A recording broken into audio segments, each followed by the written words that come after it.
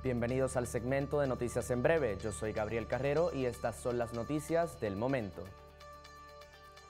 Dos jóvenes fueron acusados de atacar a un empleado de Walmart en el condado de Cortland y de robarle su teléfono. Los jóvenes de 18 y 17 años de edad recibieron cargos de robo en segundo grado, conspiración en cuarto grado y acoso en segundo grado. El suceso ocurrió a eso de las 9 y 45 de la noche y luego de una descripción de los atacantes donde la policía los encontró. Este fin de semana, el decano de la Escuela de Administración de la Universidad de Syracuse fue arrestado cuando se llevó a cabo una redada de prostitución en el pueblo de Salina.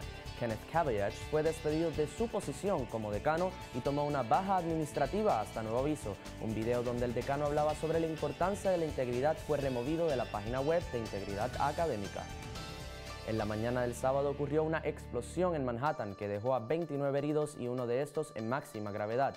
24 de las víctimas fueron hospitalizadas y según las autoridades la explosión fue un acto intencional llevado a cabo con un explosivo improvisado.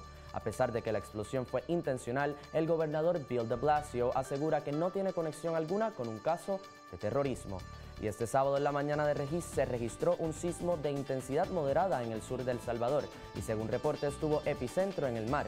La magnitud del mismo fue de unos 5.2 grados y según las autoridades no ha habido reportes de grandes daños en el país. La semana pasada ya se había registrado un sismo de 5.4 en Nicaragua por una falla geológica ubicada en las faldas del volcán El Hoyo. Luego de una noche lluviosa nos espera un día nublado con probabilidades de lluvia de más de 50% para esta noche. Y esto es todo por hoy en esta edición de Citrus TV Noticias en breve. Yo soy Gabriel Carrero, gracias por sintonizarnos.